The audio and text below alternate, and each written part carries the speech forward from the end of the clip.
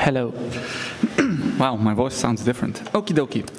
So, um, as you can tell, this is going to be a very short slide, but let's just, well, no, oh no, oh yes, oh yes. so yes, my name is Nik. As you heard where I work, doesn't matter basically. But uh, today we're going to be talking about gears, the basics of polygonal modeling. now, um, this, is, this has more of a meaning, but which I'm going to elaborate later on. And uh, before I get to the demo, I'm just going to have a quick introduction to the software that is applicable to this, that is considered polygonal modeling. So we have about eight. So we have Max, uh, Cinema 4D, Maya, Houdini, Blender, Modo, 3D Coat, and ZBrush. These are all polygonal modeling programs with each uh, and their own additional quirky features and applicable to each their own tasks. so let's start with Max. Max is a really old piece of software that's been developed and is basically still on the forefront of the visual um, fidelity in industry, basically automotive and architectural visualization, Max is your go-to program. Why? Because there are plugins. Basically, everything that is considered architectural visualization, realistic rendering, import, export, everything uh, goes through Max. So if you're go going through polygonal modeling and thinking about automotive or industrial design, or just visualization in general, Max might be your go-to. Then you have Cinema 4D. Again, a, a, polygonal modeling program, but its specialty is in, um, in video, as it's kind of like Cinema 4D, doesn't matter. Basically, uh, it has the most features which uh, have anything to do with video, as in particles, effects, video motion tracking. So if video is your thing, cinema might be for you. Maya, this is an interesting one because it's really not applicable anywhere but also everywhere. Because it's just a program that just works, but its biggest domain is the gaming industry, just because of everybody, just because everybody is using it. Then we have Houdini. Houdini, if you want to do generation, particles, simulation, cloth, everything, Houdini is your program to go. And then have Blender. Much like Maya, it goes everywhere and nowhere. It just depends on your use case and need. And it's slowly getting popularity each and every year higher and faster. And now with the release of 2.8 in a few days, maybe a week, it's, it might just be the next big thing. Then we have Modo and 3D Coat. These two programs came out of development as a direct competitor to Maya, but they're like very niche the problem is they're very small programs which were developed to be exclusively competitor to Maya and nobody else. So the, the workflow and their use case really depends on the person itself. Like one has good texturing tools, one has a sculpting feature, one has both, but eh. So really depends on your use case, but it's these are two pieces of software that I can hardly uh, can, that I can full-heartedly recommend. Then we have ZBrush, arguably not a polygonal modeling tool first, but a sculpting tool, but has polygonal modeling options. So, what am I even going to talk about? Basically, all these programs that I just explained to you have different price points, different learning curves. What I'm going to show you now is that you can do exactly what I'm going to do now in each and every one of these programs. Because 90% of the features that I use is available in each and every software. So it's not really important which piece of software you use, but it's how you use it, as we all know, but the industry says otherwise. So let's just go to the demo. Close it. Close this. This is very professional. So we're just gonna new. Eh. How do you open a new document? God damn it. Doesn't matter. Okay. So this is the starting point. Now, as I said, the acronym GEAR stands for something much more. And basically, the first letters uh, correspond with the function of the program. Now, I'm going to use Blender because it's just my program software of choice. It's the, since the last five years. And before that, I was a Max user for five years. So altogether, roughly 10 years of experience in this. Now, as I said, gears, we start with G. It means grab, a basic function in every piece of software. Now, E. E is an interesting uh, thing because E means extrude, which is basically you take a, uh, a polygon. Oh, this is a polygon. This, I'll, I'll just go back. This surface here is a polygon. This is a edge. And this is a vertice. And these are the things that make, make up 3D modeling. Why is the Z and Y inverted? Come on, programmers. Hardships. There, where, you don't have a Slovenian version? Yeah, is it? Yeah. Okay, okay. I'll trust you on that one. Why is it pink now? God damn it. Anyway, so, like I said, G moves things, and E is extrude. So if I press E, I extrude polygons, vertices, sides, and everything out of the model. Again, I can just do individual sides. And just like that, individual vertices. Now, before I showed you G as in grab, I also could just grab each individual piece of these objects. Basically, each function has one or multiple use cases. so now A. A means everything or all, just basically selecting everything. So you can move everything as you wish. Then we're going to go to R. R as in rotate. So as I said, each letter uh, corresponds with the function. So if you just think what you're going to do in the program, just think, oh, I would like to rotate something. So it's most likely R. But again, it varies from program to program. And the rotation can be in each axis any way I want it. so then we have S, the final one. S, scale. Again, scaling the object, basic functions. And already you have basically 50% of the functions you need to do polygonal modeling. Now we're going to do something funky. We're going to delete a face. So the F, F letter. F stands for fill in. So if I select, if I select uh, edges that I would like to join together, press F and it fills everything in. I can also do that just for vertices. It's just going to join or connect these two things that I connected, and it's just going to make a connection between them. And then V. v means rip for whatever reason. But basically, if you select an edge and press V, you basically unconnected something. And you basically made an oven or a washer. Depends on your use case. And then we're going to do something a little bit, well, different, much like everything. We're going to select these two vertices, and we're going to join them. This is the function M alt, basically just merging. You can merge in about six different ways, by distance, by vertices, by this and that, and just open the whole possibility of how you want your object to move and how much control you have over it.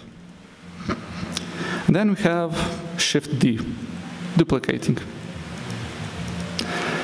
Now, you may be thinking like, why are you showing us all these basic features? You'll see. There's still more to come.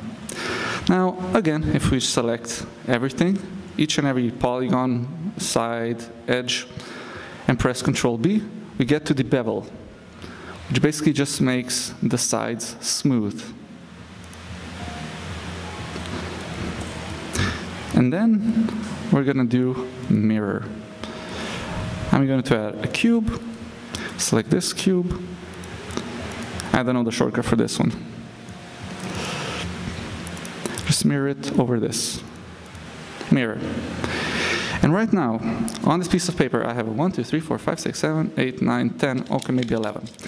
11 basic features to show that it doesn't matter which program you use, it's just how you use it. Because all these features are freely available in each and every modeling program. Now we're going to open up the previous one, open recent. Or let's let's do something different. Let's let's go to. Uh, uh, you know these those things um, for cross uh, to cross the street, like the little blue things. How would you, how do you call them? The little blue boxes on the, the thing on the streets, when you click it, it goes, when you cross it, how would you call it? Those crosswalk signals? What? Sure, whatever. Basically this. For this example, I decided to model this to give an example what you can do with those basic features and how I decided to recreate this. So unlike Miha, where he was doing it live, I decided to do this before, every, uh, before the meeting and just give you an explanation of how I did it. So this is what I created. And these are going to be the steps of how I decided to do this. Why did, no, why did I open in this? oh, it's fine. It's fine. It's fine. I just, I just need photos. I just need photos. Nothing special. Okay. so basically, to start off, we just need a basic shape. So a rectangle. Then you need to bevel it. Of course, Control B to give the sides a little bit of definition. Then we, I decided to do the sides again, just add little details like extrusions on each and every one of those. Again, this is just a function called extrude. And then I beveled each and every one of these, uh, these little sides separately. So it gets a nice little rounded feel to it. then I gave it a hat. I also beveled it. Then I beveled it again in a different direction because the way you uh, go about modeling these things, there's a way to mess it up and start it over again. So Every time you model something, you have to think, what am I going to add to this? Am I going to uh, bevel it here? Am I going to move it there? Cut it here? Texture it like this? Will it go for a game? You always have to be thinking about how to approach this. And this step was very crucial because you couldn't do it the other way. Well, you could, but you kind of don't want to. When you get um, more accustomed to this, you will realize why. Then I added the bottom portion. This, again, could be a mirror function or a duplicate function, and using rotate. Then I added the little circle on top. Then I added an arrow. Then I joined it. You can't really notice it. Then I added a bevel. Again, you can't really notice it, but when you talk about rendering and shading, it's all very, very much noticeable. Okay, there's five steps here. Then I added a cutout for the little screws. This was a pain to do. It basically took me, I think, two, three hours to figure out how to do correctly. Then I mirrored on the other side. Then I added to the bottom. Then, if you look at the side, I deleted the side, basically just made it flat. Yeah? What was the problem uh, with the screw holes? The screw holes, basically I wasn't thinking when I was modeling this, despite knowing exactly what I'm gonna do, how I'm supposed to cut it. And uh, there are polygons up here that, well, I use the Boolean modifier, basically add an object, add a different object, and just cut it out. It just leaves a very, very dirty mesh, and you have to hand fix each and every part, which I'll show you later on, if requested. So, uh, like I said, I smoothed everything out. Then I added into sections. Then I added the detailing. What happened here? Then I made another front here. Added some more detailing. Covered that detail. Now, you can see that something happened here, but you can't really see why. But I'll again show you on the 3D render. I just didn't think about adding the other side to the renders. Then I added the pole, this, and basically this is the whole walkthrough of how I did it. Now this looks very simple. Uh, it uses, I used the very basic functions that are, as I said, available in each and every program. The difference is this took two weeks to model. And I don't mean like, oh, two weeks as in eight hour days. No, basically just, let's say one to two hours a day. Because I had a plan to make the, the high poly version and then to texture it. I finished the basic model in three days. Everything else took two weeks. Now, this is, uh, as I showed you, the model, and this is the back. Not everybody notices the back, but when you take reference photos of this, you kind of notice there are details that you didn't notice before. And kind of the basics of polygonal modeling, the devil is in the details, much like everything else. But you saw the high poly render, and then you look at this one, and you see that only the black lines are polygons. Everything is a texture. So as I said with this part here, this was a bitch to do, but when I finished it and I'm baking and finishing the topology, everything works now. Now, you might be asking yourself, why would you bake or texture something like this? Now, for video games, you kind of want everything to be very, very optimized. And with this model here, all the orange lines are polygons. Even just this has about 5,000 polygons, and the low poly model has 4,000 altogether. now, the whole object here that you see has about 275,000 polygons. So it's very crucial to optimize, make it low poly, bake it as much as you can. Now to give an example of this, this is how it looks fixed. and this is still not correct. There are stray polygons not connected to anything. You basically have to use tricks to fix it. And I also asked a few questions on our 3D forum on Facebook and so on and so forth, how to fix this. There are actually many people that came to my rescue to help me fix this. But it just took so much time that I just decided to hack it. Now, oh, there we go. Mm, okay. These are all the reference photos I have. I basically took about 20 photos, same shape, same distance, same size.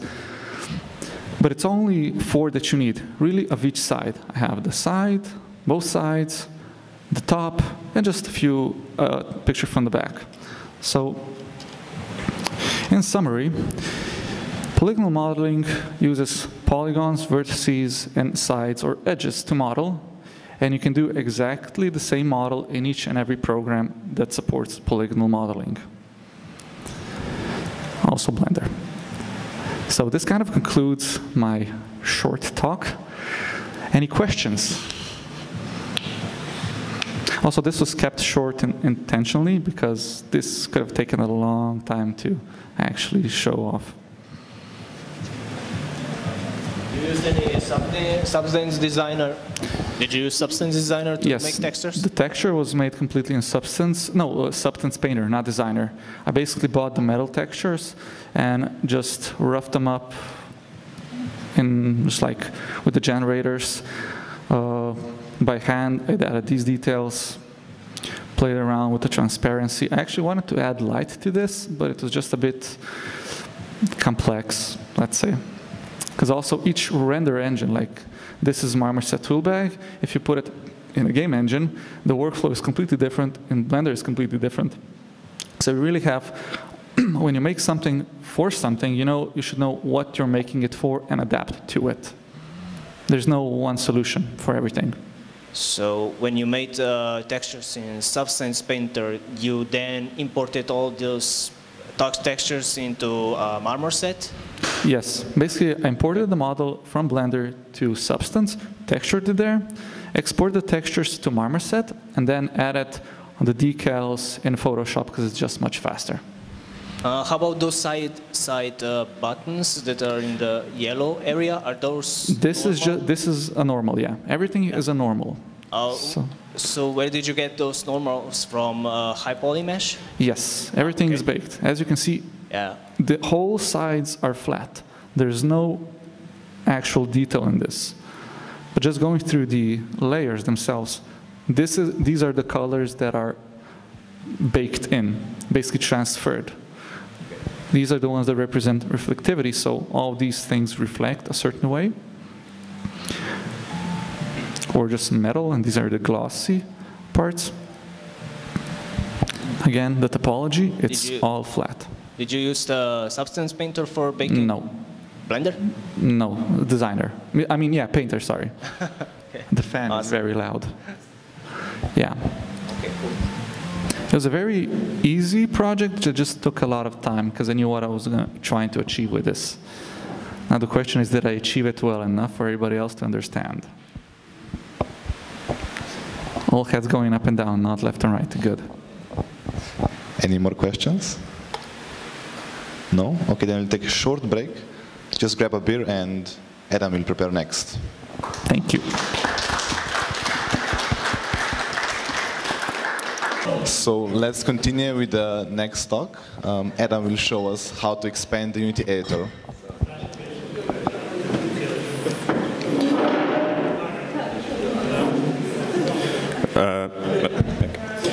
So the idea here is that uh, I won't be showing a lot of stuff, like learning stuff. I will be showing things that are done because we don't have that many time.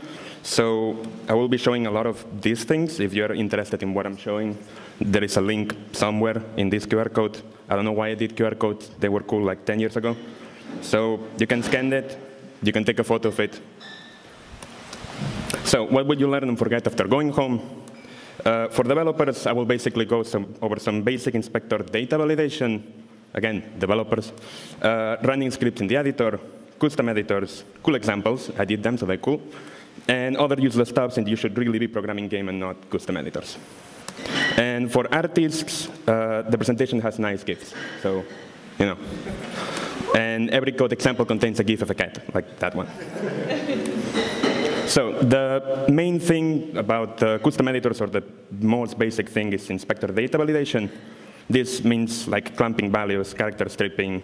It basically allows you to, for example, block anything from being over 10, for example, or allowing all the characters but not A for some reason, or making sure that if a file is missing, you know that the file is missing. The idea here, as you can see in all that code, if it's visible, is that we are using first if it's Unity editor because we don't really care if this code goes into production. I mean, it shouldn't go into production. This is supposed to be only in the editor. And basically, if it's inside here, it will prevent this code from going into the game.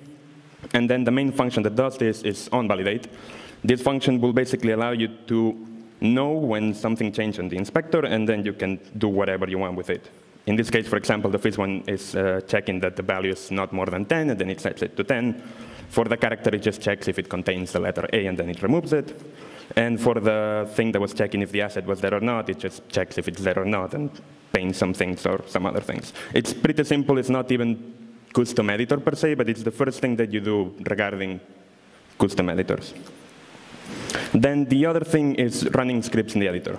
So basically, the idea here is that you can run any script that you would run on a normal game, also on the editor when you're not playing the game.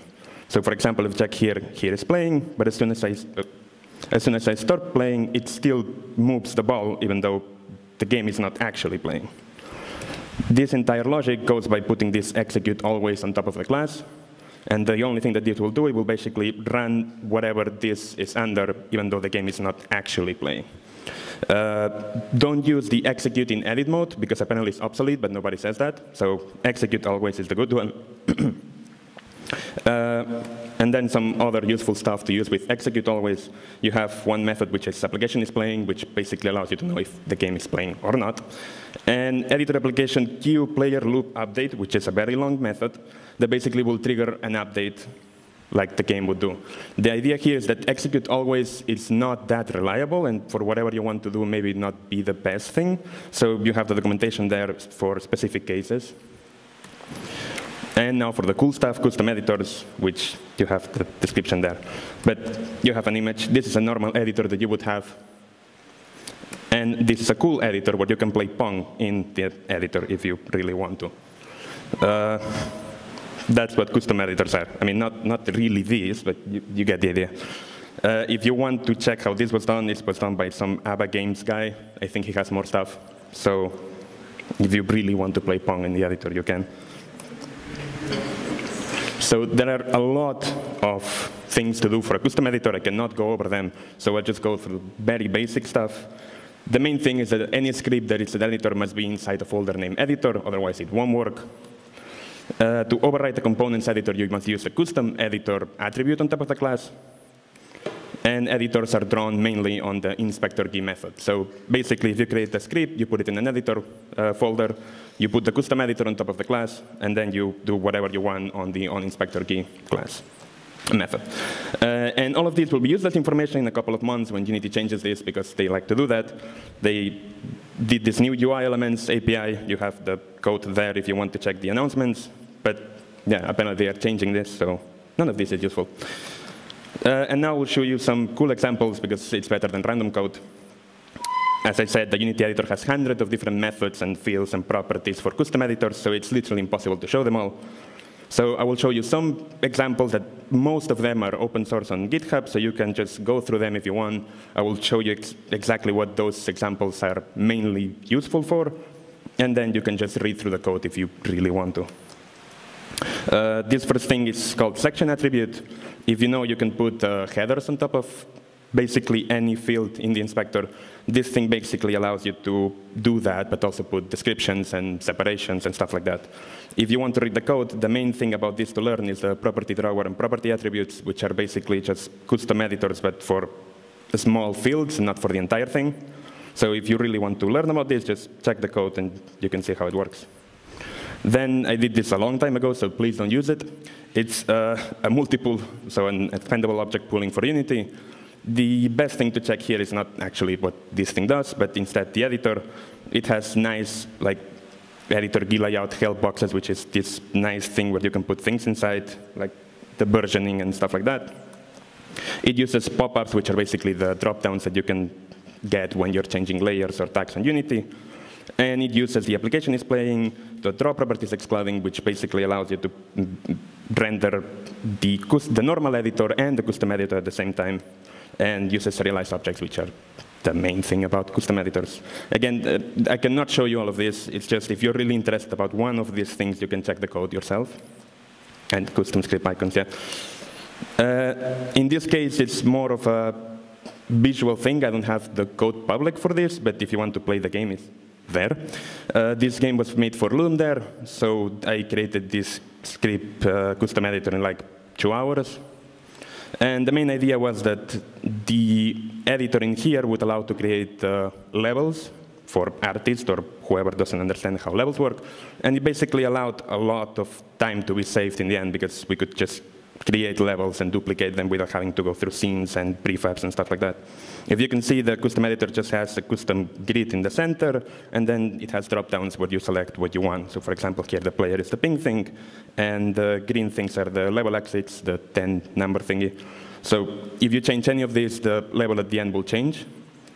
And this one in specific was using this editor gate chain checks, which check if you, for example, change the grid size, it would reorganize the, the list in here.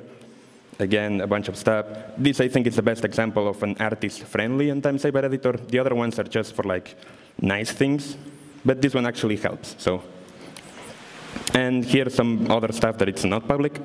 Uh, in this case, I wanted, I have two monitors. I work with two monitors, so I cannot press the play button because there is something else on top, normally Chrome. So this basically just puts the play button somewhere else. Really, custom editors, it can help you in the smallest things that you can imagine. You really don't need to do anything big about it. If you want to move the play button, you have it in another place. It's that useful, really. In it also, I added some like uh, lock and reload assemblies. If you check the buttons at the bottom, if you click those, it blocks from the editor from compiling. It's just some things so yeah. And then I created this. This should be public at some point, but it's not because it's not finished. But the idea of this was to be able to create toolbars of whatever you like to have on a toolbar. So you would be able to create buttons and put textures on them and call methods from them. So this should at some point be public, I guess, if I finished. And now the cool thing that I wanted to show is the hook interceptor, which I did like a week ago. And the idea is that you can use the Stream Deck, this thing here, or literally anything that is like apps for phones if you don't want to spend the money, or you can make a website, really anything. The idea here is that you can call the Unity editor from literally anywhere to do anything. And now a simple demo. So the main idea of this is that it just works like a link on a website. Apparently, the Unity editor has a callback, the same way that uh, an application would have a callback. So, for example, you maybe encounter when you're on your phone and you click a Facebook link and it doesn't actually open the Facebook web page, but opens a Facebook app because it knows that you wanted to go to Facebook. This is kind of the same thing. The editor will work like that when you, for example, want to go from the asset store to the editor. There is a button that says open in Unity, and it will actually trigger the Unity. So we can actually hack that and listen for this thing, and instead send anything to it. In this case, I don't know if this is visible, but it has like a bunch of buttons. And the idea here is that the editor is not playing or anything, but it's listening for callbacks to this asset store. And instead of sending an asset store, I'm just sending a link with custom data that then I parse. So here it's pretty simple. If I click the blue button, it enables an object. If I click the green or the red, it enables another one. It's a pretty simple example, but you can basically do whatever you like with this. So this is just a very short explanation of what custom editors can do for you. Because none of this will be on a final release build. No one will see this. But if it makes your life easier or, I don't know, you like to do it, it's a really good thing to spend some time and learn. Because I've never seen that many custom editors in the wild, so maybe it's a good time to start doing some stuff, even for the artist. I mean, they need this kind of sometimes. So yeah, that's mainly it. If somebody wants me to show something, let me know. But that's about it.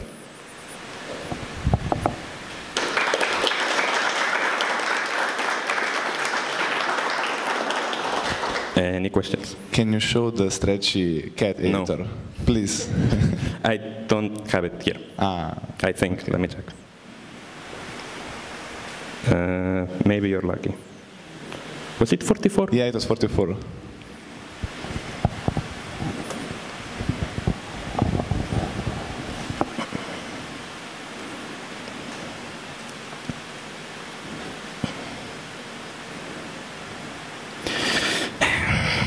Unity. What? Any other question? While this loads.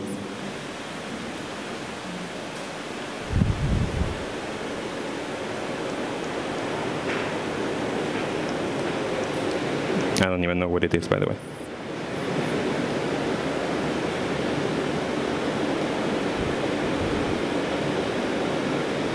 Yeah. So yeah, this is it. Uh, I don't know if I can change it and you will see it, but let's see tutorial, I guess. Pretty simple, it has like the player, normal blend, and then level exit. I can change this and say now the grid sizes instead of 3 and 1 will be 3 and 5. And I can recalculate the grid. And then I can just add some spacing in here, for example, and add, I don't know, get like a single obstacle. That's about it. And now, if nothing breaks, it should work and it should show that level that I just created. Yeah, there you go. So it has like the three levels, the bottom, and then when you finish, it just finishes the game. So it's that simple to create levels, and when we were doing this, it was pretty fast to do new levels because it just works. Anything else?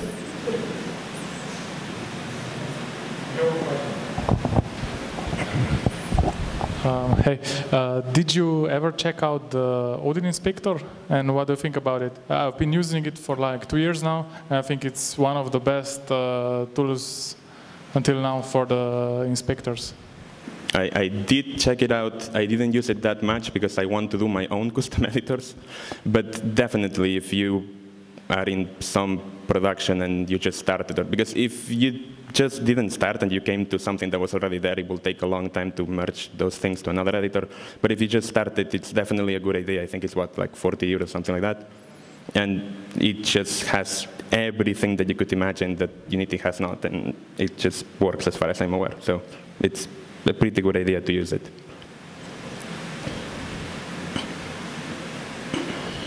So that's it. Thank you, Adam.